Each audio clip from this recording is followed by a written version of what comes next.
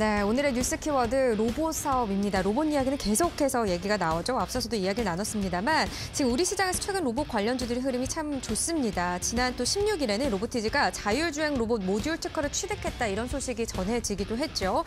이번에 이 확보한 특허 기술을 적용할 경우에요. 구체적인 주행 경로를 입력하지 않아도 자율적으로 경로를 생성해서 이동할 수 있다고 합니다. 그래서 이 특허를 적용해서 뭐 음식 배달도 할 수 있고요. 화물 운송, 뭐 보안 경비, 광고 안내 등 다양한 서비스 분야로 상용화 영 역을 확대할 계획이라고 전하기도 했는데요. 이 로봇 시장이 지속적으로 성장할 가능성이 큰 만큼 투자자들이 로보트의 특허 취득 소식에도 계속해서 반응을 하고 있는 모습이네요. 이 로봇 관련주 중에서도 이제 좀 실제로 연관성을 확보한 기업 이런 종목들을 가려내야 할 텐데 로보티제 재료들을 오늘 장에서 또 확인을 해 보도록 하겠습니다.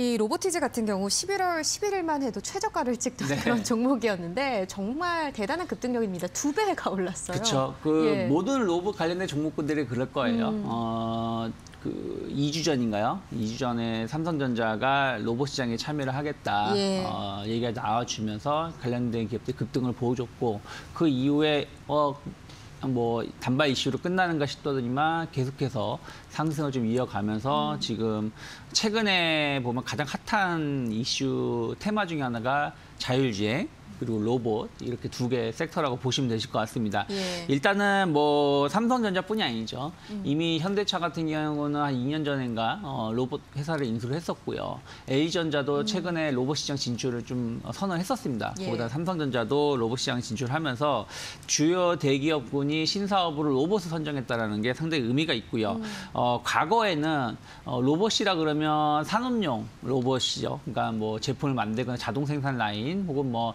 사람이 힘든 어, 공, 그 사, 산업 현장에서의 로봇을 대체해서 생산을 하는 것이라고 보시면 되겠습니다만은 앞으로 지금 LG라든지 삼성 혹은 현대도 좀 시장을 예상하고 있는 것은 어, 산업용이 아니라 어, 생활 가전, 생활 피, 생활 필수 요소 이런 부분들 혹은 의료 현장에서 필요한 어, 부분들을 로봇 시장에 대해서 좀 대체할 수 있거나 할 수 있는 부분들을 좀 관심 있게 보겠다는 것입니다. 그래서 최근에도 보시면 뭐 이렇게 식당 같은 데 가신 때 가, 보시면 서빙을 로봇이 하는 데가 좀 있습니다. 예. 그런 부분들을 좀 확대하겠다라는 것이죠. 그래서 음. 어뭐 기존에 뭐 생활용 로봇이라 그러면 단순하게 로봇 청소기만 맞아요. 뭐 생각을 했다라면 그 이상을 뭐뭐 뭐 바라볼 수 있다. 최근에 뭐 저는 그런 제품이 아직은 없습니다. 예전은 구형이라서 없습니다만은 뭐 건조기 같은 거라든지 빨래 같은 거 보면 본인의 패턴이라든지 본인의 어떤 그 옷의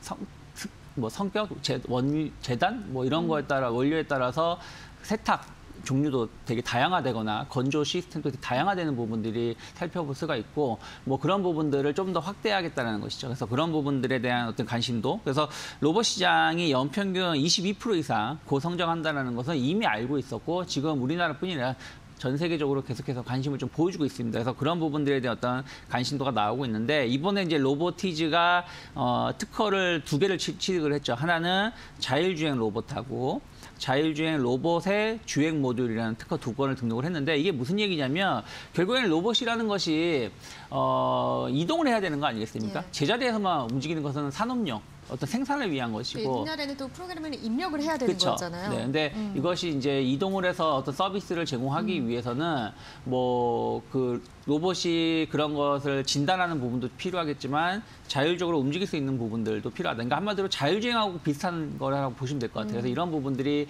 어, 취득을 했고 이것을 이제 활용할 수 있는 것이 이제 뭐 무인 택배 같은 거. 그러니까 최근에 사람이 택배를 하지 어, 택배 물건을 배송을 하지만 뭐 위험한 곳이라든지 혹은 혹은 뭐 일반 사람이 움직이 좀 돌아 이동하기 힘든 곳에서는 로봇이 대체할 수 있는 부분들 그런 것을 좀 감안할 수 있다 생각을 좀 하고 있고요. 또 방범 같은 거, 뭐 사람이 밤에 뭐 경찰이라든지 이런 어, 쪽에서 방범을 할 수 있지만 또 위험한 부분도 있으니까 또 로봇이 그런 부분을 대체할 수 있는 거 그렇죠. 아니겠습니까? 그래서 예. 그런 부분들에 대해서 어떤 어, 활용도가 상당히 높게 나올 수 있다 생각을 좀 하고 있습니다. 그래서 음. 최근에 어, 로봇 관련해서 어떤 기대감은 있었지만 막상 그것이 어디에 쓸, 쓸 것인가 혹은 어떤 회사가 주목을 받을 것인가에 대해서 어떤 어, 좀 어, 평 그런 거에 대한 어떤 관심이라든지 이런 것이 좀 없이 그냥 같이 움직였던 거 있다라면 지금은 약간 종목 옥석 가리기가 좀 진행될 수 있지 음, 않을까. 예. 그래서 로보티지 같은 경우 이미 그 전부터 LG 그룹의 지분이 많았던 것이 있었기 때문에